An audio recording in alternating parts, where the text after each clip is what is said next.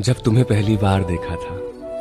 जब तुम्हें पहली बार देखा था, देखते ही अपने दिल की गैलरी में तुम्हें सेव कर लिया था। सारा दिन पागलों सा फिरता रहा।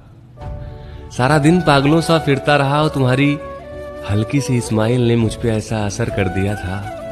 और पहला प्यार क्या होता है मुझे नहीं पता।